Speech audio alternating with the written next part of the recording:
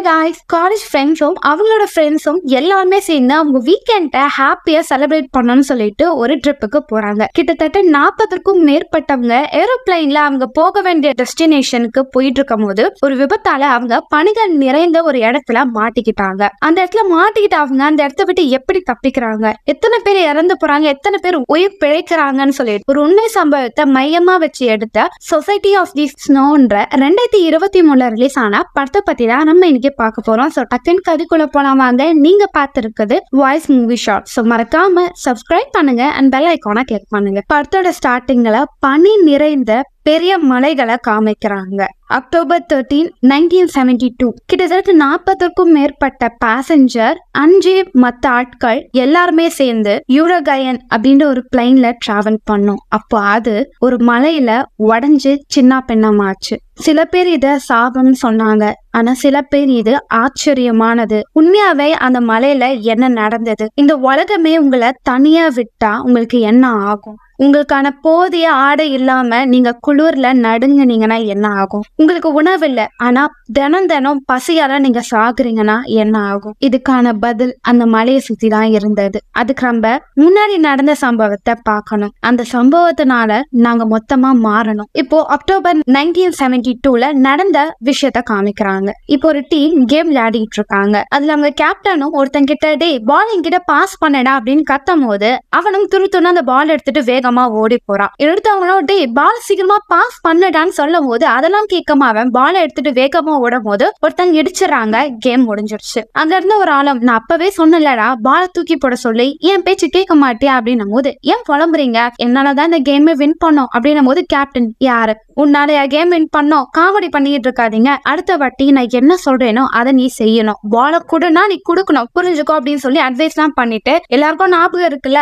பிளைன்ல இன்னும் சில சீட்ஸ் எல்லாம் காலியா இருக்கு அதெல்லாம் நம்ம சீக்கிரமா புக் பண்ணணும். எல்லாருமே காசு கொண்டு வாங்க. உங்க ஃப்ரெண்ட்ஸுக்கு எல்லார்கிட்டயும் சொல்லுங்க. நம்ம அங்க கண்டிப்பா போகணும் அப்படின்னு சொல்லிட்டு கேப்டன் அங்க இருந்து ஒருத்தன் கிட்ட டே நீ உன் ஃப்ரெண்டை கூட்டிட்டு வரேன்னு சொன்னல அவன் வருவானா போது அவன் கிட்ட நான் பேசிக்கிறேன். கண்டிப்பா நான் கூட்டிட்டு வருவேன். அப்படின்றத சொல்றாங்க. சில பேர் கிட்ட உங்க ஃபேமிலி மெம்பர்லாம் வராங்களே அவங்க கிட்ட பேசியாச்சு அப்படின்னு சொல்லி எல்லாருமே ஒரு பிளானிங்காக பேசிட்டு இருக்காங்க. எங்க நம்ம படத்தோட ஹீரோவா காமிக்கிறாங்க. அவர் சர்ச்சில் ப்ரே பண்ணிட்டே இருக்கும் போது அந்த கேம் லெவலான சில ஆட்கள் ஹீரோட ஃப்ரெண்டு ஹீரோவையும் இவங்க போற ட்ரிப்புக்கு கூட்டிட்டு போனோம்னு சொல்லிட்டு கூப்பிடுறாங்க. ஹீரோக்கு இதுல எல்லாம் இன்ட்ரெஸ்ட் இல்ல. மச்சான் அங்க போனா சூப்பரா இருக்கும்னா அங்க அழகழகான பொண்ணுங்களா இருப்பாங்க. நீ ஏன்டா அப்படி இருக்கன்னும் போது இல்லை எனக்கு ஒர்க்லாம் இருக்குது அப்படின்னும் போது எனக்கும் தெரியும். நம்ம இப்போதான் காலேஜ் முடிச்சா எல்லாமே அவங்க கெரியருக்காக உழைச்சிக்கிட்டு இருக்காங்க. நீ ஒரு சூப்பர் லாயர் லைஃப்ல கொஞ்சமாவது நமக்கு சந்தோஷத்துக்காக நம்ம டிராவல் பண்றது தப்பே இல்லையே. உன்னோட இளமையை எனக்கு கெடுத்துறாதடா. நம்ம எல்லாம் ட்ரிப்புக்கு போறோம் என்ஜாய் பண்ண போறோம் போது அவங்க ஃப்ரெண்ட்ஸ்லாம் மச்சான் பொண்ணுங்களா அழகா இருப்பாங்கடா அப்படின்னும் போது சத்தியமா சொல்றேன்டா இவங்க கூட மட்டும் நம்ம சேரவே கூடாது. ரொம்ப நாளா ஆச்சுனியும் நானும் வெளியே போய் இதை செஞ்சு இந்த ட்ரிப்புக்கு வா அப்படின்னு சொல்லி இவங்க எல்லாம் ஃப்ரெண்டா பேசிட்டே இருக்கும் போது வெளியே ஒரு ப்ரொட்டஸ்ட் நடந்துகிட்டு இருக்கு. கண்டிப்பா இப்போ நிறைய ஸ்ட்ரைக் இருக்கும். நம்மளால ஒழுங்கா வேலைக்கெல்லாம் போக முடியாது. இந்த டைம் நம்ம யூட்டிலைஸ் பண்ணிக்கலாம். ஜாலியா ஃப்ரெண்ட்ஸோட வெளியே போய் என்ஜாய் பண்ணலாம்னு சொல்லிட்டு இப்படியே ஹீரோவை கன்வின்ஸ் பண்றாங்க. இப்ப ஹீரோ வீட்டுக்கு வராரு. அவங்க சொல்ற மாதிரி அந்த இடம் எப்படி இருக்கும்னு சொல்லிட்டு மேப்ல பாக்குறாரு. அவங்களோட காலேஜ் போட்டோஸ் எல்லாமே பார்க்கும் போது அவருக்கே போகணும்னு தோணுது. அவரோட பப்பி கிட்ட நம்ம போலாம் போலயே நல்லா இருக்கும்னு நினைக்கிறேன். போலாம் அப்படின்னு சொல்லிட்டு அடுத்த நாள் காலையில ட்ரிப்புக்கு போறதுக்காக எல்லாருமே ஏர்போர்ட்டுக்கு வராங்க. நிறைய பேர் அவங்க ஃப்ரெண்ட்ஸை பாக்குறாங்க. ரொம்ப நாள் கழிச்சு பார்க்கனால சந்தோஷமா இருக்காங்க. ஃபேமிலி மெம்பர்ஸ் வராங்க. கணவன் மனைவி காதலி குடும்பம் சொல்லிட்டு எல்லாருமே அங்க ஒன்னா வந்து சேர்றாங்க. ஃபைனலா ஒரு போட்டோஸ் எடுத்துக்கிறாங்க. இப்போ நம்ம படத்தோட ஹீரோ என்ன சொல்றாங்கன்னா இங்க இருக்கிற பாதிப்பே எனக்கு தெரியாது. ஆனா இவங்களெல்லாம் பார்க்கும் போது ஏதோ ஒரு ஒரு சந்தோஷமா இருக்கு. இது வரைக்கும் என் வீட்டை விட்டு நான் ரொம்ப தொலைவில் போனதில்லை. இப்போ நான் போக போறேன். இந்த ட்ரிப் கண்டிப்பா நல்லபடியா இருக்கும் அப்படின்னு நினைச்சிட்டு எல்லாமே அவங்க சீட்ல இருக்காங்க. இப்போ அந்த பிளைனை எடுக்கிறாங்க. இப்போ எல்லாருமே டீம் டீமா பேசிட்டு இருக்காங்க. இப்போ எல்லாரையும் அங்க போட்டோஸ் எடுத்துக்கிட்டு இருக்காங்க. அப்பதான் ஹீரோ ஒரு கேள்வியை கேட்பாங்க. நம்ம போற அந்த டெஸ்டினேஷனுக்கு பக்கத்துல ஒரு மலை இருக்கு. அந்த மலையை கிராஸ் பண்ண நிறைய பேர் காணாம போயிடுறாங்க. அந்த மலை அவங்கள எடுக்குதுன்னு சொல்றாங்களே அதெல்லாம் உண்மையா அப்படின்னு ஹீரோ அங்க ஒருத்தர் ஒருத்தர்கிட்ட கேட்கும் போது அதெல்லாம் உண்மைதான். அதாவது இந்த இடத்துல வார்ம் விண்ட் கூல் விண்ட் அப்படின்ற ரெண்டுமே மிக்ஸ் ஆகும். அந்த டைம் போற எல்லாத்தையும் அது காந்த மாதிரி இழுத்துக்கும் அப்படியா? அப்புறமே இப்போ அங்கே தானே போறோம். நமக்கு ஏதாவது ஆயிருமா அப்படின்னு சொல்லி ஹீரோ கேட்கும் போது அப்படியெல்லாம் ஆகாது. ஏன்னா நாங்க ஒரு பக்காவா ஒரு பிளானை போட்டிருக்கோம். நான் அதை ஒன்று கிளியரா சொல்றேன் அப்படின்னு சொல்லிட்டு அந்த வைப்ரேஷன் இந்த வழியா தான் வரும். இதுக்கு நடுவுல ஒரு வைப்ரேஷனே இல்லாம ஒரு இடம் இருக்கு. அந்த இடத்த நம்ம தாண்டி கிராஸ் பண்ணி போனோம்னா நம்ம போக வேண்டிய டெஸ்டினே வந்துடும் பிரச்சனையே இல்லாம நம்ம ஹாப்பியா அங்க போயிடலாம் அப்படின்னு சொல்லிட்டே இருக்கும்போது இப்ப சடனா என்னன்னா அந்த இடம் அப்படியே லைட்டா ஷேக் ஆக ஆரம்பிக்குது. எல்லாம் பயப்படுறாங்க கவலைப்படாதீங்க. நம்ம எல்லாம் சந்தோஷமா அந்த இடத்துக்கு போக போறோம் அப்படின்னு சொல்லிட்டு பேசிக்கிட்டே இருக்காங்க. இப்ப சடனா அங்க அந்த பைலட் எல்லாருமே உங்க சீட்ல இருங்க. சீட் பெல்ட்டை போட்டுக்கோங்கன்றத சொல்றாங்க. அவங்க யாருமே கண்டுக்காம ஜாலியா பேசிட்டு இருக்காங்க. இப்போ அவங்களோட கேப்டன் டேய் அவங்க சொல்றாங்கல்ல எல்லாம் உங்க சீட்ல உட்காருங்க. சீட் பெல்ட்டை போடுங்க அப்படின்னு சொல்றாங்க. இப்ப ரொம்ப ஷேக் ஆக ஆரம்பிக்குது. எல்லாருமே பயங்கரமா பயப்பட ஆரம்பிக்கிறாங்க. இரவும் அப்படியே கீழே பாக்குறாரு. பாறைகள் எல்லாமே ரொம்ப ஷார்ப்பா இருக்கு. அந்த மலையை தாண்டி போயிட்டு இருக்காங்க. ஒரு ஸ்டேஜ்ல அந்த இடத்துல அப்படியே பனி படர்ந்து இருக்கு மலைகள் எதுவுமே உங்க கண்ணுக்கே தெரியல. இப்ப பைலட்டும் வேகமா ஓட்டிட்டே போறாங்க. அங்க இருந்த பேசஞ்சர் எல்லாம் பயப்படுறாங்க? சில பேர் அவங்கவுங்க கடவுளை வேண்டிட்டு நாங்க உயிரோட தப்பிக்கணும் அப்படின்ற மாதிரி பயத்தோட உச்சக்கட்டத்துல அவங்க இருக்காங்க. அப்படி அவங்க எல்லாம் ப்ரே பண்ணிட்டே இருக்கும்போது இப்போ அந்த பைலட் அவங்களோட பிளைனை தூக்கி ஓட்டும் போது அதுல இருந்த எஜ்ஜு மட்டும் மலையில இடிச்சிரும். அந்த பிளைனோட எஜ்ஜு மட்டும் உடஞ்சு விழுந்துரும். அது விழுகும் போது லாஸ்ட் சீட்ல இருந்து அவங்களும் தவறி கீழே விழுந்துடுறாங்க. இப்ப பிளைன் உடஞ்சு போனனால அதோட அழுத்தத்தினால அது வேகமா கீழே பனியில விழுக போகுது. அப்படி எல்லாம் கீழே விழுகும் போது இப்போ சீட்ல அந்த பேசஞ்சரோட சீட்டே ஒன்னு ஒன்னா பின்னாடி தள்ளி தள்ளி தள்ளி எல்லாரையும் இடிக்குது. அவங்களோட கை கால் முதுகு எல்லாமே வளைஞ்சு எல்லாருமே உயிர் போற அளவுக்கு வழியில துடிச்சு அப்படியே மயக்கம் போட்டுடுறாங்க கொஞ்ச நேரம் கழிச்சு ஹீரோ கண்ணை திறந்து பாக்குறாரு. அவருக்கு என்ன நடந்ததுன்னு ஒண்ணுமே புரியல. இப்ப அந்த இடத்த விட்டு இறங்கி கீழே வராரு. மக்கள் எல்லாமே கதறி அழுதுகிட்டு இருக்காங்க. சில பேர் உயிர் போற வழியில துடிச்சுக்கிட்டு இருக்காங்க. அங்க ஆட்கள் ஒருத்தர் மெடிக்கல் ஸ்டூடெண்ட் அவர் உடனே அங்க இருக்கிற எல்லாருக்கும் ஹெல்ப் பண்ணிட்டு இருக்காரு. சில பேர் அப்படியே கொஞ்சம் கொஞ்சமா வெளியே கொண்டு வராங்க. அந்த இடத்த பாக்குறாங்க. சுத்தி இருக்கிற மலைக்கு நடுவுல ஒரு டவுனான இடத்துல தான் அந்த பிளைன் கிராஷ் ஆகி விழுந்திருக்கு. இப்போ உட முடியாதவங்க எல்லாரையும் அப்படியே கொஞ்சம் கொஞ்சமா வெளியே கொண்டு வராங்க. இப்ப பைலட் கிட்ட போய் எல்லாருமே என்ன ஆச்சு? பிளைனை இதுக்கத்த மூவ் பண்ண முடியாதா அப்படின்னு கேட்கும் போது அவரோட முகம் ஃபுல்லா ரத்தமா இருக்கு அவரால் பேச முடியல. அங்கிருந்து ரேடியோலயும் பேசுறாங்க அதுல சிக்னல் வரல. ஆனா அந்த பைலட் ஏதோ ஒரு விஷயத்த சொல்ல வராரு. இதை ஹீரோ பாக்குறாரு. அவர் காது கிட்ட போய் என்ன சொல்றாருன்னு கேட்டா அவரு இதுக்கு அடுத்தது கடவுள் தான் உங்களை காப்பாத்தணும் அப்படின்னு சொல்லி அவரும் அங்கே இறந்து போயிடுறாரு. இப்ப வேகமா அந்த இடம் இரட்ட ஆரம்பிக்குது. எல்லாருமே கவர் பண்ணி அந்த இடத்துலயே படுத்துக்கிட்டு இருக்காங்க. அங்க இருக்கிற எல்லாருமே பிளைன் கிராஷ் ஆகல நம்ம சாகுறோமோ இல்லையோ இந்த குளிர் காத்துல கண்டிப்பா உறைஞ்சு செத்து போயிடும் அப்படின்னு சொல்லி அந்த குளிரோட பயத்தினாலே எல்லாருமே கத்த ஆரம்பிக்கிறாங்க கதறாங்க. சில பேர் அப்பா அம்மா வேணும்னு சொல்லி துடிக்கிறாங்க. ஆல்ரெடி முகத்திலும் கையிலும் அடிப்பட்டவங்க அந்த குளிர்னாலே உறைஞ்சி இறந்து போயிடுறாங்க. ஹீரோ உங்க ஃப்ரெண்டு அங்க இருக்கிற எல்லாருமே கட்டி பிடிச்சு அந்த குளிரை தாங்கிட்டு தூங்க முயற்சி பண்றாங்க. அப்படியே காலையில விடிய தொடங்குது. விடியும் போதுதான் அவங்க எல்லாம் வெளியே வந்து பாக்குறாங்க நிறைய பேர் இறந்து போயிருப்பாங்க. அதுல கிட்டத்தட்ட பதினோரு பேர் முதல் நாள்ல இறந்து போயிடுறாங்க. அவங்களோட சடலத்தை எல்லாத்தையும் கொஞ்சம் தூரமா தள்ளி பனியில போட்டு வச்சிடுறாங்க. கேப்டனும் அடிப்பட்டவங்க எல்லாரையும் கொஞ்ச நேரம் வெயில இருக்க வைக்கலாம் அப்படின்னு சொல்லிட்டு தூக்கிட்டு வர சொல்றாங்க. உள்ள படுக்க ப்ராப்பரா இடம் இல்ல. அதெல்லாம் சரி பண்ணணும்னு சொல்லிட்டு எக்ஸ்ட்ரா சேர்ஸ் எல்லாமே கொஞ்சம் கொஞ்சமா வெளியே எடுத்துட்டு வராங்க. யார்கிட்டயாவது பேக்ல உணவோ இல்ல ஏதாவது பொருள் இருந்தா எடுத்துருவாங்கன்னு சொல்லி எல்லா பேக்கையும் செக் பண்ணி உணவு எல்லாத்தையும் மொத்தமா சேர்த்து வைக்கிறாங்க. அதை ஷேர் பண்ணி அங்க இருக்க ஆட்கள் கொஞ்சம் கொஞ்சமா சாப்பிட்டுக்கிட்டு இருக்காங்க. இப்ப அணுக்கீரவை காமிக்கிறாங்க. திரும்பவும் அந்த பனையில அவங்க உயிரை காப்பாத்தணும். அதனால அவங்க கிட்ட இருந்த எல்லா லக்கேஜும் வச்சு ஓட்டைகளை அடைச்சிக்கிட்டு இருக்காங்க. குழையில திரும்பவும் நடுங்கிட்டு இருக்காங்க ஆனா கேப்டன் மட்டும் வெளியே வேடிக்கை பார்த்துக்கிட்டு இருக்காரு. அவர்கிட்ட அவரோட ஃப்ரெண்டும் என்னாச்சு கேப்டன் அப்படின்னும் போது எனக்கு தெரிஞ்சு கண்டிப்பா நாளைக்கு நம்மள காப்பாத்த யாராவது வருவாங்க அப்படின்றத சொல்றாங்க. ஆனா அது அவ்வளோ சீக்கிரமா நடக்காதுன்றத அவங்களே புரிஞ்சுக்கிறாங்க. திரும்பவும் அந்த குளிர்ல நடுங்கி பார்த்துக்கிட்டு இருக்காங்க. அடுத்த நாள் விரியுது இப்போ அவங்க ஃப்ரெண்ட்ல ஒருத்தர் பயங்கரமா அடிபட்டு மயக்கத்துல இருப்பாரு. அவர் கொஞ்சமா கண்முழிச்சு பாக்குறாரு. எழுந்த உடனே அவரு என்னோட அம்மா என் தங்கச்சி எங்கன்னு கேக்குறாரு. அவங்க அம்மா இறந்து போயிருப்பாங்க. அதை கேட்டு அவர் ரொம்ப வருத்தப்படுறாரு. ஏன்னா அப்பா கேட்ட அம்மாவையும் தங்கச்சியும் நான் பார்த்ததுன்னு சொல்லி தைரியமா சொல்லி கூட்டிட்டு வந்தவர் அவங்க அம்மாவை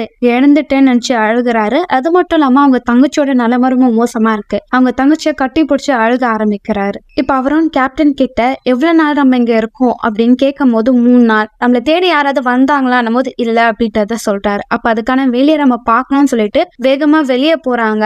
அந்த இடத்துல கிராஸ் மார்க் மாதிரி ஒன்னு ஃபிக்ஸ் பண்றாங்க. இப்படி அவங்க பண்ணிட்டே இருக்கும்போது வெளியே ஒரு பிளைன் போற சத்தத்தை கேக்குறாங்க. அதுக்கு சிக்னல் தானோ சொல்லிட்டு அவங்க எட்ட இருந்த கண்ணாடியும் மற்ற இதையும் வச்சு கத்துறாங்க சிக்னல் கொடுக்குறாங்க. அப்ப அந்த பிளைனும் அந்த வழியா டேர்ன் ஆகி போகுது. நம்மள பார்த்துட்டாங்க கண்டிப்பா நம்ம தப்பிக்க போறோம்னு சொல்லி எல்லாம் கடல்ல பிரார்த்தனை பண்றாங்க சந்தோஷமா இருக்காங்க. எப்படி இருந்தாலும் நாளைக்கு வந்து நம்ம காப்பாத்த போறாங்க. அப்பாடா வீட்டுக்கு போனா நான் நல்லா சாப்பிடணும் வயிறு முட்டை சாப்பிடணும் அப்படின்னு சொல்லிட்டு யார் யாருக்கு என்னென்ன உணவுலாம் பிடிக்குமோ அதெல்லாம் சொல்லி பேசிட்டு இருக்காங்க. ஆனா அங்க இருந்த ஒருத்தர் பிளைன்ல இருக்கிறவங்க நம்மள பார்த்தாங்கன்னா நமக்கான உணவு அவங்க தூக்கி போட்டிருக்கலாமே. ஏன் அவங்க அப்படி பண்ணலன்னும் போது கேப்டன் தூக்கி போட்டா அது வேஸ்ட் ஆயிரும். கவலைப்படாத நாளைக்கு தான் அவங்க வர போறாங்களே நம்ம வீட்டுக்கு போய் நிம்மதியா சாப்பிடலாம் அப்படின்றத சொல்றாங்க. இப்ப அவங்களோட ஃப்ரெண்ட்ஸ் சில பேருக்குலாம் கால் ஃபிராக்சர் ஆயிருக்கும். அவங்கள கீழே விடக்கூடாது வழி வர வாய்ப்பு இருக்குன்னு சொல்லிட்டு அவங்க இந்த ஒயரையும் மத்த பொருட்கள்லாம் வச்சு அவங்களுக்கு மேல மெத்த மாதிரி ரெடி பண்ணுவாங்க. அப்படியே அவங்கள இருக்க வைப்பாங்க. அப்படியே நைட்டு தூங்குறாங்க. அடுத்த நாள் காலையில பிளைன் வரும். வெயிட் பண்றாங்க வெயிட் பண்றாங்க. வரவே இல்லை. அப்பதான் அங்க இருந்து ஒருத்தன் சொல்றான் பிளைன் நம்மள தாண்டி தான் போயிட்டு இருக்கு ஆனா நம்ம கிட்ட வரல. அப்படின்னா அவங்க இன்னும் நம்மள கண்டுபிடிக்கல. நம்ம அந்த இடத்துல வசமா மாட்டிக்கிட்டோம். இதுக்கு அடுத்து நம்மளால தப்பிக்கவே முடியாது அப்படின்னு சொல்லிட்டு பேசிட்டே இருக்கும்போது கேப்டன் கூவருது இங்க பாடுறா நம்மளாம் மூத்தவங்க. நீ இப்படி நெகட்டிவா பேசினா நம்மள விட சின்ன பசங்களுக்கு பயம் வரும். நீ பெரியவன். நீ ரெஸ்பான்சிபிலிட்டியா இருக்கணும். இப்படி எல்லாம் பேசக்கூடாது. கண்டிப்பா நம்மள தேடி யாராவது வருவாங்க. நம்ம காப்பாத்தப்படுவோம். அப்படின்னு சொல்லிட்டு கேப்டன் அங்க வந்து போறாரு. இதெல்லாம் பார்த்து மத்த ஆட்கள் கோவப்படுறாங்க. சும்மா இங்கே இருந்தா எப்படி நம்மளால தப்பிக்க முடியும்? இதே மாதிரி குளிர்ல நடுங்கி செத்துருவோம். போல அப்படின்னும் போது இப்ப ஹீரோ ஒரு விஷயத்த சொல்லுவாரு. ரேடியோ இன்னும் ஆன் ஆகல. ரேடியோக்கு பேட்டரி தேவைப்படும். நம்மளோட பிளைன் கிராஷ் ஆகும்போது பாதி பார்ட்ஸ் அந்த மலைக்கு அந்த பக்கம் விழுந்ததை நான் பார்த்தேன். கண்டிப்பா அதுல அடிஷனல் பேட்டரி இருக்கும். அதை எடுத்துட்டு வந்தோம்னா ரேடியோவை நம்மளால ஆன் பண்ண முடியும். உதவிக்கு ஆள் தேவைன்றதை நம்மளால சொல்ல முடியும். நம்ம பேசாம அதை பண்ணலாமா அப்படின்னும் போது அங்க அந்த ஆட்களும் சும்மா இருக்கிறதுக்கு நம்ம அதாவது ட்ரை பண்ணலாம்னு சொல்லிட்டு எல்லாருமே பக்கத்துல இருக்கிற மலை கிட்ட போகணும்னு சொல்லிட்டு ஒரு மூணு பேர் கிளம்பி போறாங்க. அப்படி நடந்து போறாங்க போறாங்க. அப்படி நடந்து போகும்போது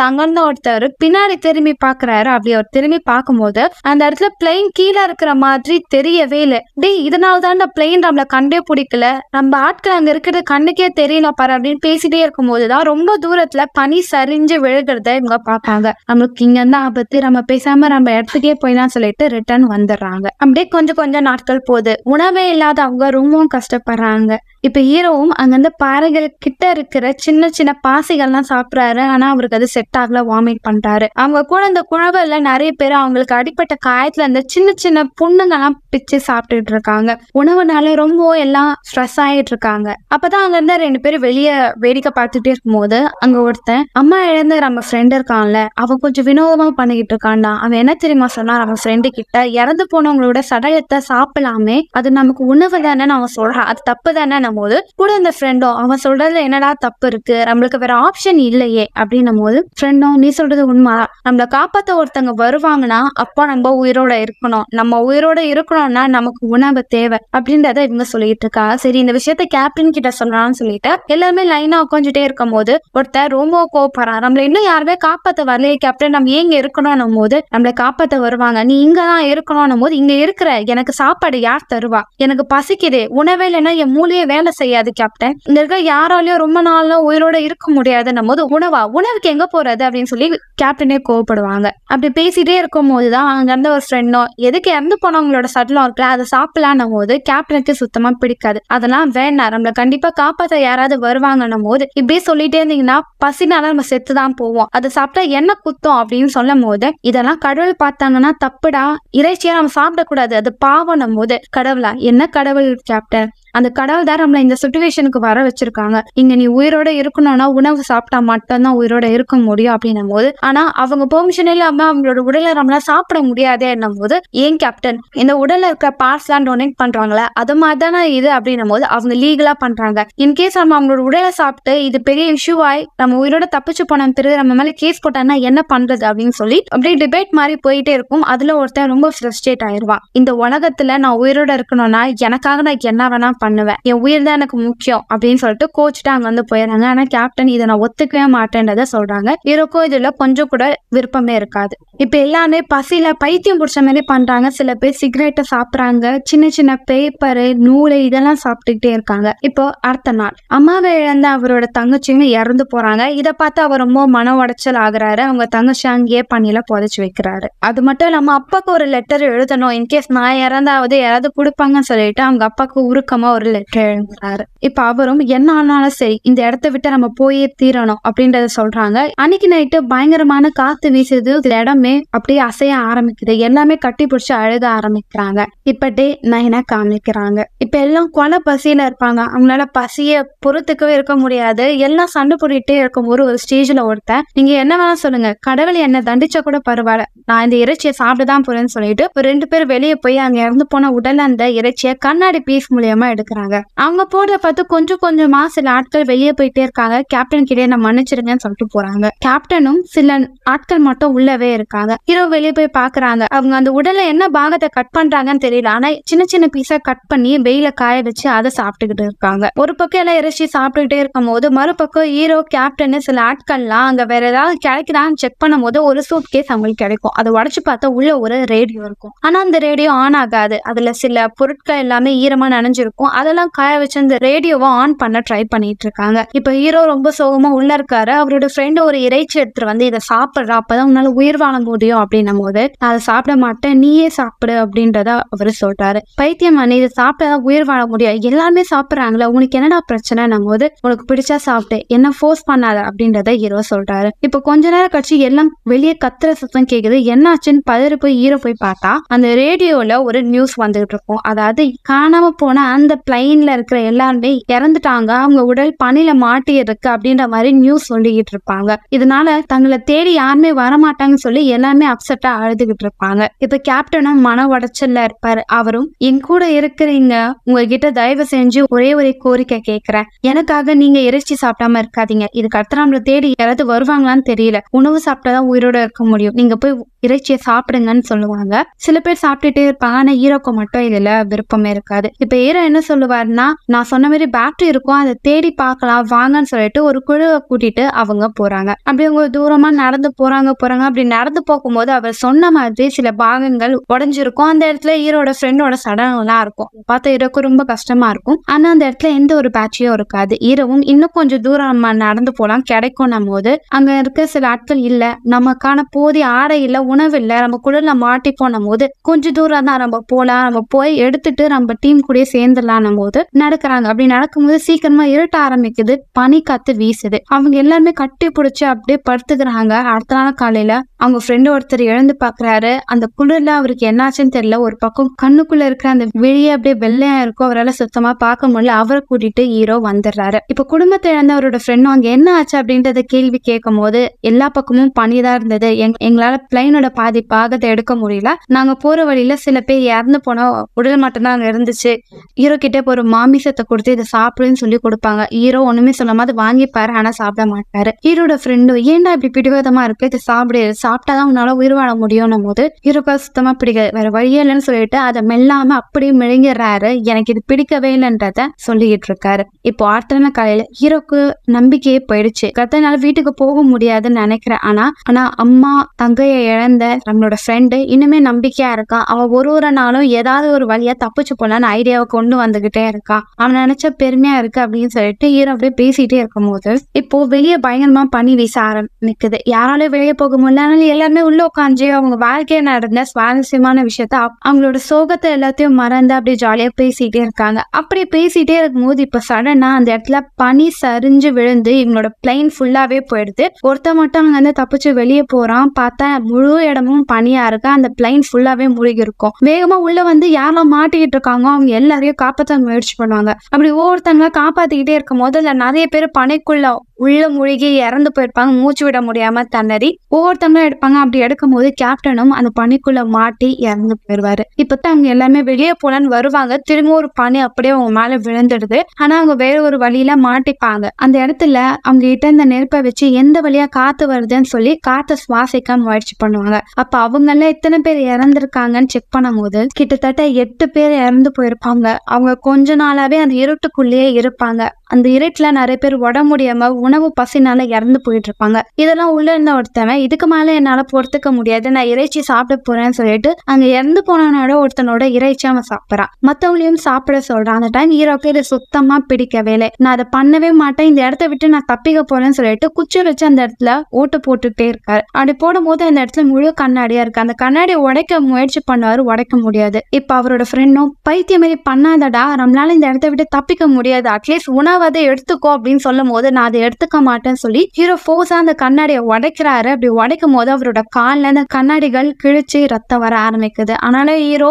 ஓப்ப விடாம திரும்பவும் குத்திக்கிட்டே இருக்காரு. அப்படி குத்தும் போது இப்ப எனக்கு வெளிச்சம் தெரியுதுன்னு சொல்லிட்டு அவங்க டீம்ல ஒருத்தன் ஒல்லியா பண்ணி போய் மேல பாடுறான போது எப்படியோ ஒவ்வொருத்தங்களா வெளியே வந்து வந்து வெளிச்சத்தை பார்ப்பாங்க. அந்த அந்த வெயில் பட்ட பிறகு அவங்க ரொம்ப சந்தோஷமா இருப்பாங்க. இப்ப எல்லாருமே அந்த பனியில மாட்டிட்டு இருக்கா பிளைனா எடுக்கணும். ஏன்னா அதுதான் நம்ம தங்கம்லாம் சொல்லிட்டு தோண்டிட்டு இருப்பாங்க. அப்படி ஒவ்வொருத்தங்களா வேலை பார்த்துட்டே இருக்கும்போது ஹீரோ அவரோட காலை பார்ப்பாரு. அது கொஞ்சம் கொஞ்சமா செப்டிக் ஆகிட்டே இருக்கு. ஆனா அந்த விஷயத்தை யார்கிட்டயும் சொல்ல மாட்டாரு. இப்ப ஹீரோட ஃப்ரெண்டும் முன்னால நான் கடவுள் மேல அதிகமா நம்பிக்கை இருந்தேன் ஆனா இப்போ எனக்கு யார் தெரியுமா கடவுள்? என்னோட ஃப்ரெண்டு தான். இந்த இடத்துல எனக்கு உயிரை காப்பாத்த எனக்கு எல்லா உதவியும் பண்ணது அவனுங்க தான் இப்ப என்னோட எண்ணங்களே மாறிடுச்சு அப்படின்னு சொல்லிட்டு பேசிட்டே இருக்கும்போது மச்சான் நல்லாவே பேச கத்துக்கிட்டேன் நான் இங்க வந்து அப்படின்னு சொல்லிட்டு எல்லாம் கிண்டல் பண்ணி பேசிட்டே இருப்பாங்க அப்படியே நைட்டு பனி வருது எல்லாம் உள்ளே இருக்காங்க. அடுத்த நாள் திரும்பவும் வேலை பார்த்துக்கிட்டே இருக்காங்க. இப்ப அந்த ஆட்களும் இந்த இடத்த விட்டு நம்ம தப்பிக்கணும். அந்த பேட்டரி இருக்குன்னு சொன்னாங்களே அதை கண்டுபிடிக்கலாம். நம்ம டிராவல் பண்ணலாம் அப்படின்னும் போது இல்ல இல்ல. இப்ப அதிகமா பனி காத்து வீசிட்டு இருக்கு. திரும்பவும் போய் நீங்க பனில மாட்டிக்க வேணாம். இன்னும் ஒரு ரெண்டு வாரம் இருங்க. கொஞ்சம் கொஞ்சமா பனிகள்லாம் உருக ஆரம்பிக்குது. இந்த டைம் நீங்க போனீங்கன்னா ஒரு வீடு உங்களால மேனேஜ் பண்ண முடியும் அப்படின்றத சொல்லிக்கிட்டு இருக்காங்க. இப்போ டே தேர்ட்டி ஃபோர் ஈரோட ஃப்ரெண்டோட கண்டிஷன் ரொம்ப மோசமாயிட்டே இருக்கும். அங்க இருந்த டாக்டரும் ஒரு சின்ன பையனை கூட்டிட்டு வந்து உங்ககிட்ட ஒரு விஷயம் சொல்லணும். இங்க இருக்கிற எல்லாரோட நிலைமை மோசமாயிட்டே இருக்கு. அதுலயும் ஈரோட ஃப்ரெண்டோட நிலைமை ரொம்ப கிரிட்டிக்கலா இருக்கு. இன்னும் அஞ்சுல மூணு நாளே அவர் இறந்துருவாரு. அப்படின்னும் போது அவனும் இதான் என்கிட்ட சொல்லிட்டு இருக்கீங்க போது இந்த டீம்லயே நீ ரொம்ப ஸ்ட்ராங்கானவன் ஃபாஸ்டா ஓடக்கூடியவன். இன்கேஸ் இந்த இடத்த விட்டு தப்பிச்சு யார்- யார்கிட்ட உதவி கேட்கணும்னா நீ தயக்கமே இல்லாம நீ போ. நீ போனா மட்டும்தான் இங்க இறந்து போனவங்களோட உடலை வைக்கிற எண்ணிக்கை கொஞ்சமாவது குறையும். அப்படின்றத சொல்றாங்க. அன்னைக்கு நைட்டே ஹீரோட ஃப்ரெண்டு ரொம்ப உடம்பு முடியாம இறந்து போயிடுறாரு. இதை பாக்குற இயற்கை கஷ்டமா இருக்கு. இப்ப அவங்களாம் சேர்ந்து அடுத்த நாள் நம்ம ஏதாவது பேட்டரியோ ஏதாவது பொருள் கிடையாது தேடி பார்க்கலாம்னு சொல்லிட்டு கிளம்புறாங்க. இப்படி கிளம்பி போயிட்டே இருக்கும்போது ஹீரோவால நடக்க முடியாம கால் தவறி கீழே ஸ்லிப் ஆகி விழுந்துடுறாரு. அப்பதான் அங்க அவரோட ஃப்ரெண்டும் ஹீரோட காலை பார்ப்பாரு. அவரோட கால் செப்டிக் ஆயிருக்கும். நம்ம பிளானை கேன்சல் பண்ணிட்டு நம்ம திரும்ப நம்ம இடத்துக்கு போயிடலாம் போது ஹீரோ இல்ல இல்ல வேணாம். நீங்க போங்க. நானே தனியா நம்ம இடத்துக்கு போறேன் அப்படின்னு சொல்லிட்டு ஹீரோ ரிட்டர்ன் வந்துடுறாரு. அவர் ஃப்ரெண்ட்ஸ் எல்லாம் என்னாச்சு என்னாச்சுன்றது கேட்பாங்க. ஆனா ஹீரோவால எதுவுமே பேச முடியாது. செம்ம டயர்ட்னால அப்படியே தூங்கிடுறாரு. இப்போ ஹீரோ கூட இருந்த அவரோட இன்னொரு ஃப்ரெண்டும் ரொம்ப உடம்பு முடியாம அப்படியே பயத்திலேயே நடுங்கி நடுங்கி செத்து போயிடுறாரு. இதெல்லாம் பார்த்த ஹீரோக்கு ரொம்ப கஷ்டமா இருக்கு. தன்னால யாருக்குமே உபயோகமாவே இருக்க முடியாது நான் ஒரு வேஸ்ட்னு சொல்லி ஹீரோ புலம்பிட்டு இருக்காரு. அந்த இடத்துல தான் வேற ஒருத்தர் இருப்பாரு. அவர் அவங்க மனைவியோட வந்திருப்பாரு. அவங்க மனைவி இறந்து போயிருப்பாங்க. அவர் என்ன விஷயத்த சொல்லுவாங்கன்னா நம்ம இந்த பிளைன்ல இருக்கும் போது வேகமா பணிகள்லாம் நம்ம மேல விழுந்து நம்ம முழுகிட்டோம்ல அப்போ எனக்கு கீழே என் மனைவி இருந்தா அவளுக்கு மேல நான் இருந்தேன். அப்போ நான் அவளை காப்பாத்தணும்னு நினைச்சேன். ஆனா நான் ரொம்ப அழுத்தம் கொடுத்தேன்னா அவ பணிக்குள்ள முழுகிருவான்னு சொல்லிட்டு நான் மேலோட்டமா வெளியே வர முயற்சி பண்ணேன். ஆனா அவ இறந்துட்டா. அவ இறந்தது என்னால தாங்க முடியல தெரியுமா? அவ என்னை காப்பாத்தணும் தான் அவ கீழே அடியில என்னை கொஞ்சம் கொஞ்சமா மேல தள்ளிட்டு இருந்தா. அவளோட உடலை பார்த்த பிறகு என்னால தாங்க முடியல. அவ்வளவு வழி நான் ஒரு யூஸ்லெஸ் ஆன கணவனா இருந்துட்டேன்னு சொல்லிட்டு அவளை கட்டி பிடிச்சேன் ஆனா அவளோட கட்டி பிடிச்சு அணைக்கும் போது எனக்குள்ள ஒரு விஷயம் தோணுச்சு. அவ எனக்கு கொடுத்த அன்பு அளவற்ற அன்பு. அந்த அன்பை அவ மூலியமா நான் எங்களோட குழந்தைக்கு தரணும். என் குழந்தைங்கள நான் பாத்துக்கணும் அப்போ அந்த இடத்த விட்டு உயிரோட போகணும் தான் என்னோட மனைவி இதை பண்ணியிருக்கான்னு சொல்லி நான் நான் புரிஞ்சுக்கிட்டேன். அப்பதான் நான் யூஸ்லெஸ் இல்ல. என் குடும்பத்துக்கு என்னோட அன்பை என் மனைவி தர வேண்டிய பாசத்தை நான் கொடுக்கணும்னு எனக்கு தோணுச்சு. அதே மாதிரி தான் நீ யூஸ்லெஸ் நினைக்காத. கண்டிப்பா உன்னோட உதவி மத்தவங்களுக்கு தேவைப்படும். ஏதோ ஒரு காரணத்துக்காக உன்னை இங்க இருக்க வச்சிருக்காங்க. அப்படின்னு சொல்லி இருக்கும் பாசிட்டிவா பேசிட்டு இருப்பாங்க இப்ப போன அந்த பாதி உடஞ்சு போன பாகத்தை கண்டுபிடிச்சிருவாங்க. அதுல பேட்டரி இருக்கும். அது மட்டும் இல்லாம இப்போ அவங்க ஹீரோ கிட்ட வராங்க. ஹீரோ தூக்கத்துல இருந்திருப்பாரு என்னடா நீ இவ்வளவு நாளும் தூங்குறோம் உடம்பு ரொம்ப மோசமாயிடுச்சான போது இல்ல இல்ல. நீங்க போனீங்க என்ன கண்டுபிடிச்சீங்கன்னு போது நீ சொன்னா நம்ப மாட்டேன் அங்க எங்களுக்கு உணவு கிடைச்சதுன்னு சொல்லி நிறைய சாக்லேட் பியர் வாட்டர்ஸ் எல்லாம் இருக்கும். அதுல ஒரு சாக்லேட்டை ஹீரோ கிட்ட கொடுப்பாங்க. ஹீரோ சாப்பிட்டு ரொம்ப சந்தோஷப்படுவாரு. அங்க பேட்டரி இருக்கு. அந்த பேட்டரியில ரேடியோ ஆன் ஆகுதான் நாங்க செக் பண்றோம் அப்படின்னு சொல்லிட்டு நிறைய பொருட்கள்லாம் எடுத்துட்டு போய் அந்த இடத்துல பேட்டரியை செக் பண்ணிட்டு இருப்பாங்க. அப்படி ரேடியோ பார்த்துட்டே இருக்கும்போது ஃபைனலாக ரேடியோ ஆன் ஆயிரும். இவங்க பேசுவாங்க ஆனா அதுக்குள்ள கட் ஆயிரும். செம்ம கோவம் வந்துடும் பட் பொறுமையா அந்த வேலையை பார்த்துக்கிட்டே இருப்பாங்க. அதே நேரத்துல ஈரோட கண்டிஷன் ரொம்ப மோசமாகிட்டே இருக்கும். அதையும் டாக்டர் பார்த்துக்கிட்டு இருப்பாங்க. இப்ப அடுத்த நாள் ஈரோட நிலமை மோசமாகனால மோசமாக்குனால அவன் ஃப்ரெண்டு இறைச்சியை சாப்பிட்றான்னு கொடுப்பாங்க. ஆனா ஹீரோ சாப்பிட மாட்டாரு. ஏன்டா இப்படி பிடிவாதமாக இருக்கு அப்படின்னும் போது உனக்கு தெரியுமா இன்னைக்கு என்னோட பர்த்டே இன்னைக்கு இனியோட சேர்த்து இருபத்தி அஞ்சாவது வயசாகுது. ஆனா நான் பாரு இப்படி இருக்கேன். என்னால என் குடும்பத்தை என்னோட தம்பி தங்கையை கூட பார்க்க முடியல. எனக்கு இதை நினைச்ச வேதனையா இருக்கு. ஒரு நேரம் சிரிப்பு வருது அழுக வருது. ஆனா என்னால இதை வெளியே காமிக்க முடியலன்னும் போது நான் இருக்கேன்டா. உனக்கு அழுகணும்னு தோணுதா அழுக அப்படின்னு சொல்லிட்டு ஹீரோ ஒரு ஃப்ரெண்டை கட்டுப்பிடிச்சு பயங்கரமா அழுக ஆரம்பிப்பாரு. இப்போ ஒரு டீம் ரேடியோ ஆன் ஆகுதுன்னு செக் பண்ணிட்டே இருப்பாங்க. ஆனா ரேடியோ ஆன் ஆகாது. இதனால கடுப்புல அதை உடச்சு போட்டு அந்த இடத்துல நவம்பர் இருபத்தி ஒன்பது பதினேழு பேர் உயிரோட இன்னும் இருக்கும் சொல்லிட்டு எழுதுவாங்க. அப்படி அந்த இடத்துல ஏதாவது இருக்கான்னு தேடும் போது அவங்களுக்கு வாட்டர் ப்ரூஃப் இருக்கிற ஒரு ஒரு கிளாத் கிடைச்சிருக்கும். இது நமக்கு எப்பயாவது தேவைப்பட போறேன்னு சொல்லிட்டு எடுத்துட்டு வந்துடுறாங்க இப்போ அங்க இருந்தாங்க எல்லாமே ரேடியோல ஏதாவது தகவல் நீங்க சொன்னீங்களா? எப்படி போச்சுன்னு கேட்கும் போது அந்த ரேடியோ ஒர்க் ஆகல. சரி நம்ம என்ன பிளான் நம்ம இங்கேவா இருக்கிறது நம்ம அங்க இருந்த ஒருத்தரும் எங்ககிட்ட சில ஜாக்கெட் இருக்கு இது வாட்டர் ப்ரூஃப் இதை எடுத்துட்டு நாங்க கொஞ்சம் தூரம் நடந்து போறாங்க ஏதாவது மக்களும் இல்ல யாருக்காவது தகவலை சொல்றோம் போது இதை கேட்ட ஈரக்கே கொஞ்சம் ஷாக்கா இருக்கும். பார்த்தா அடுத்த நாள் ரேடியோ ஆன் ஆகும் ரேடியோல என்ன சொல்லுவாங்கன்னா இறந்து போன சடலத்தை ஏதாவது எடுக்க முடியுமான்னு ஆபீசருங்க செக் பண்ணிட்டு இருக்காங்கன்னும் போது சில ஆட்கள் அப்ப நீங்க எங்கேயும் போகாதீங்க. இங்கே இருங்க. நம்ம ஸ்டேடி யாராவது வருவாங்க. வருவாங்கன்னும் போது ஈரோட ஃப்ரெண்டும் நீங்க என்ன விளையாடுறீங்களா? அவங்க நம்ம உயிரோட இருக்கவனே நம்பிக்கையில இல்ல சடலத்தை தேடணும் தான் நினைக்கிறானுங்க. அவனுங்க அசால்ட்டா தான் தேடுவானுங்க. நம்ம இங்க இருந்தா வேலைக்காகாது இங்க இருந்து போகணும் அப்படின்னும் போது என்ன இந்த துணி எடுத்து நம்ம எல்லா இடத்துக்கும் போக முடியும். நீங்க சொல்றதெல்லாம் வாய்ப்பே இல்ல. நம்ம போனோம்னா எங்கேயாவது செத்துருவோம் அப்படின்னு சொல்லிட்டு எல்லாமே அப்படி சண்டை போட்டுக்கிட்டே இருப்பாங்க. இப்ப ஹீரோவும் அவரோட ஃப்ரெண்டை கூப்பிட்டு இன்கேஸ் நான் இறந்தேன்னா தயவு செஞ்சு என்னுடைய உடலையும் நீங்க சாப்பிட்றதுக்கு நான் முழு உரிமையை கொடுக்குறேன் போது ஹீரோட ஃப்ரெண்டு ஏன்னா அப்படி சொல்றேன் போது எனக்கே தெரியும். என் உடம்பு கண்டிஷன் ரொம்ப மோசமாயிட்டே இருக்கு. என்னால அவங்க கூட ரொம்ப தூரம் வர முடியாது அப்படின்றத சொல்றாரு. இப்ப அங்க இருந்தவங்க எல்லாருமே மாத்தி மாத்தி அங்க இருக்கிறவங்க எல்லாரையும் போட்டோஸ் எடுத்துக்கிட்டு இருப்பாங்க. அப்படி போட்டோஸ் எடுத்துட்டே இருக்கும்போது ஹீரோக்கு ரொம்ப வருத்தமா இருக்கும். தான் சாக போறேன்னு நினைச்சிட்டு போட்டோஸ்க்கு முகமே கொடுக்காம ஒளிஞ்சுக்கிட்டு இருப்பாரு. இப்போ அடுத்த நாள் காலையில ஹீரோ நைட்லயே தூங்கி அப்படியே இறந்து போயிருப்பாரு. அவரோட உடலை பார்க்கும்போது எல்லாம் வருத்தப்படுறாங்க. அது மட்டும் இல்லாம அவர்கிட்ட ஒரு பேப்பர் இருக்கும். அதையும் எல்லாம் வாசிக்கிறாங்க. அதுல ஃப்ரெண்டுக்கு தன்னோட வாழ்க்கையை குறைக்கிறத விடவும் இந்த உலகத்துல மிக சிறந்த காதல் இல்லை அப்படின்னு சொல்லிட்டு ஒரு வார்த்தையால் எழுதி வச்சிருப்பாரு. இதை பார்த்து எல்லாருக்குமே ரொம்ப கஷ்டமா இருக்கும். அது மட்டும் இல்லாம அவங்க ஃப்ரெண்டு ஒருத்தன் இறந்து போன எல்லாரோட ஞாபகத்தமா அவங்களோட பொருளை ஒரு பேக்ல எடுத்து வச்சுக்கிட்டு இருப்பாரு. அப்படி இதையும் எடுத்து வைப்பார். இதெல்லாம் படிச்ச பிறகு இதுக்கு அடுத்து நம்ம விடக்கூடாது. மத்தவங்களோட உயிராது காப்பாற்றணும்னு சொல்லி ஒரு டீம் நாங்கள் கிளம்ப ஆரம்பிக்கிறோம்னு சொல்லி போதிய உணவும் ஆடைகளும் போட்டுட்டு அந்த இடத்துல நடக்க ஆரம்பிக்கிறாங்க. அப்படி ரொம்ப தூரம் மலையில நடந்து போயிட்டே இருப்பாங்க. அப்படி முயற்சி பண்ணிட்டே இருப்போம். நைட்டு குளிர ஆரம்பிக்கும். அவங்க எடுத்துட்டு வந்த அந்த வாட்டர் ப்ரூஃப் ஜாக்கெட்லாம் வச்சு அப்படியே போத்திட்டு அந்த பனியிலே பொறுத்துக்கிட்டு இருப்பாங்க. அடுத்த நாள் காலையில அப்படியே நடக்க ஆரம்பிப்பாங்க. ரொம்ப தூரம் நடந்து போயிட்டே இருக்கும்போது கடைசியில அவங்க வந்த இடம் அந்த மலையோட எட்ஜ். அதையும் தாண்டி நிறைய மலைகள் இருக்கு. இதை பார்த்து அங்க இருந்த ஒருத்தர் கடுப்பாயிரும் இதுக்கு மேல நம்ம வர முடியாது நம்ம வேஸ்ட் பண்ணிட்டோம். எனர்ஜியை நம்ம ரிட்டர்ன் போயிடலாம் போது அங்க இருந்தவரும் இல்ல இதுக்கடுத்து நம்ம நடந்து போனோம் அங்க பாரு. அங்க இருக்கிற பாறைகள்ல பனியே இல்ல. அப்ப அங்க நடக்க சுலபமா இருக்கும். நம்ம அந்த வழியா போலாம் நீ என்ன நினைக்கிறியா? திரும்பவும் ரிட்டர்ன் போனா அந்த இடத்துல நம்மளை காப்பாத்த யாராவது வருவாங்கன்னு நினைக்கிறியா? அங்க இருந்தா நம்ம குளிர்ல தான் செத்து போகணும் அப்படின்றத சொல்றாரு. நம்ம கிட்ட உணவே இல்லையே. உங்க கூட வர சொல்லி என்ன சாக சொல்றீங்களான்னும் போது என் கூட வர சொல்லி உன்னை சாக சொல்லல. நம்ம தப்பிக்கலாம். நம்ம மத்தவங்களையும் நம்ம காப்பாத்தணும். புரிஞ்சுக்கோ அப்படின்னும் போது அவன் யோசிப்பான். சரி ஓகே நம்ம போலான்னு சொல்லிட்டு அவங்க கூட வந்த மத்தவங்கள ரிட்டர்ன் அனுப்ப சொல்லிட்டு இவங்க ரெண்டு பேர் திரும்பவும் நடக்க ஆரம்பிப்பாங்க. ரிட்டர்ன் போனவங்களும் அந்தந்த ஆட்கள் கூட சேர்ந்து நம்ம தப்பிச்சிருவோம் அவங்க இன்னும் கொஞ்சம் தூரம் நடந்து போறாங்க நம்மளுக்கு தப்பிக்க இன்னும் வாய்ப்பு இருக்கு அப்படின்னு சொல்லிட்டே இருக்கும் போது இப்ப இவங்க ரெண்டு பேரும் நடந்து போவாங்க போவாங்க ரொம்ப தூரம் நடந்து போகும்போது கடைசியில பணிகள் இல்லாத மலை கிட்ட போயிருவாங்க. அங்க ஒருத்தரோட கால் பயங்கரமா வலிக்க ஆரம்பிக்கும் செருப்பெல்லாம் பிஞ்சிரும். துணியால அதை கட்டிட்டு அங்கேயே நைட்டு தங்குவாங்க. அப்போ அந்த வயசு சின்னவரா இருக்கிறவர் என்ன பண்ணுவாரு? அவர்கிட்ட ஒரு இறைச்சி இருக்கும். அது பழைய இறைச்சி. பசினால அதை சாப்பிடுவாரு. ஆனா அவருக்கு ஃபுட் பாய்சன் ஆயிரும் வாந்தி எடுத்துக்கிட்டே இருப்பாரு. அடுத்த நாள் அங்க அந்த ஏரிய பார்ப்பாரு. அந்த தண்ணியை குடிச்சிக்கிட்டே இருக்கும்போது அவரோட பெரியவரும் டே இங்க பாருடா இதை நம்ம பிடிச்சு சாப்பிட்டுடலாம். அப்படின்னும் போது அதை விடுங்க இங்க பாருங்கன்னும் போது அவங்க ஒருத்தர் குதிரையில நின்னுட்டு இவங்கள வித்தியாசமா பாத்துக்கிட்டு இருப்பாரு. இதை பார்த்து ரெண்டு பேரும் சந்தோஷப்படுவாங்க. எங்களை காப்பாத்துங்க அப்படின்னு சொல்லி கத்தும் போது அவங்க ஒரு பீப்பிள கல்லை கட்டி தூக்கி போடுவாங்க. அதுல அவரும் நாங்க கிட்டத்தட்ட பதினாலு பேரு இங்க பிளைன்ல வந்து கிராஷ் ஆகி மாட்டிக்கிட்டோம். அவங்க என்ன உயிரோட இருக்காங்க? அவங்களுக்கு உதவி கார் தேவைன்னு சொல்லி எழுதி போடுவாங்க. இந்த விஷயத்த அவங்க நாட்டை சேர்ந்த ஆபீசருக்கு இன்ஃபார்ம் பண்ணிருவாங்க. ஒருத்தர் இதை கேட்டு பதறி அடிச்சு அவங்க ஹெட் குவார்ட்டர்ஸ் கிட்ட போய் சார் அந்த பிளைன்ல காணாம போனவங்க உயிரோட இருக்காங்க. அப்படின்னு சொல்லும் போது அந்த இடத்த மார்க் பண்ணிக்கிறாங்க. இப்ப இவங்க ரெண்டு பேருக்கும் அந்த இடத்துல இருக்கிற மலைவாசிகள் உணவெல்லாம் கொடுத்துக்கிட்டு இருக்காங்க. கொஞ்ச நேரம் கழிச்சு அந்த இடத்துக்கு கார்ல நிறைய பிரஸ் மீடியா ஆட்கள் வராங்க. இப்ப கொஞ்சம் கொஞ்சமா அவங்கள கண்டுபிடிக்கிறதுக்காக பிளைனையும் அனுப்புறாங்க. ரேடியோல அந்த இடத்துல இன்னும் உயிரோட இருக்கிறவங்களோட பேரை ரெண்டு வாட்டி தொடர்ந்து சொல்லிக்கிட்டே இருப்பாங்க. அப்படி சொல்லிக்கிட்டே இருக்கும் போது அங்க அதை இன்ஃபார்ம் பண்றவரோட பையனும் அங்கதான் இருப்பாரு. அவர் அவங்க பையன் பேரை சொல்லி அவன் ஏன் பையன் அப்படின்றத பெருமையா சொல்லுவாரு. இப்போ day seventy one December twenty two nineteen seventy two இப்போ பிளைன்ல ஒரு ஆளை அடையாளம் காமிக்கிறதுக்காக கூட்டிட்டு போறாங்க.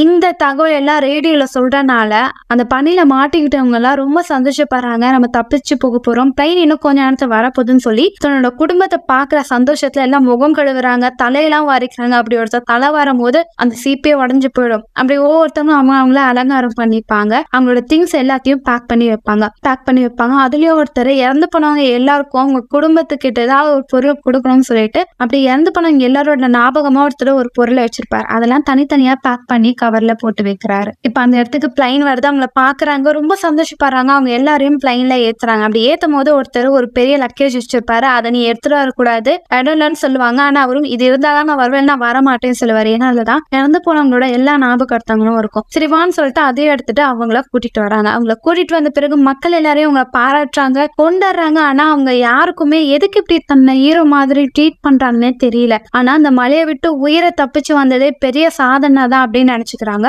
ஹாஸ்பிட்டல் கூட்டிட்டு போறாங்க. அவங்க ஹெல்த் ஓகேவான்னு சொல்லி டாக்டர் எல்லாத்தையும் அவங்கள செக் பண்ணிட்டு இருக்காங்க. இப்போ அவங்களோட குடும்பம் எல்லாமே வராங்க. கணவன் மனைவி குழந்தைங்க அக்கா தங்கச்சின்னு சொல்லி அந்த சொந்தம்லாம் வருதும் போது அதை பார்த்து அவங்க ரொம்ப பூரிப்பா சந்தோஷப்படுறாங்க. ஆனா தினமும் இரவுல அவங்க அங்க தூங்கும் போது அவங்களுக்கு அந்த பிளைன்ல நடந்த சம்பவங்கள் தான் ஞாபகம் வருது. ஆனா தப்பிச்சவங்க எல்லாருக்குள்ள ஒரு கேள்வி இருக்கு. நாங்க தப்பிச்சோம். எங்க கூட வந்தவங்க என்ன பாவம் பண்ணாங்க? அவங்க ஏன் தப்பிக்கல? அவங்களுக்கு ஏன் இப்படி நடந்ததுன்னு சொல்லி எல்லாருக்குள்ள ஒரு வருத்தம் இருக்கும். இவங்க தப்பிச்சது காரணம் இது இதுக்கடுத்து அவங்க வாழ்க்கைய இவங்க புரிஞ்சுட்டு வாழணும். எல்லாருமே ஒருத்தவங்க ஒருத்தவங்க உதவி பண்ணிட்டு இந்த வாழ்க்கைய வாழணும். அதுலயும் முக்கியமா மலையில நடந்த சம்பவத்தை இங்க இருக்கிற எல்லாருக்கும் தெரியப்படுத்தணும் அப்படின்னு சொல்லி இந்த படத்தை முடிக்கிறாங்க. படத்தோட எண்டில் உண்மையாவே அங்க இறந்து போனவங்களோட போட்டோஸ் அவங்களோட விஷயங்கள் எல்லாத்தையும் காமிக்கிறாங்க. சோ எப்படி இருந்துச்சு மக்களே படம்? உங்களுக்கு பிடிச்சிருக்கும்னு நினைக்கிறேன். ரொம்ப வித்தியாசமான படம். இதெல்லாம் வெறும் கதைன்னு சொன்னாலே எல்லாமே ரொம்ப சுவாரஸ்யமா பார்ப்பாங்க. ஆனா அதுலயும் இது உண்மை கதைன்னு ஒண்ணு கண்டிப்பா எல்லாருக்கும் புல்லரிக்க ஆரம்பிக்கும். அப்படிதான் எனக்கும் இருந்தது.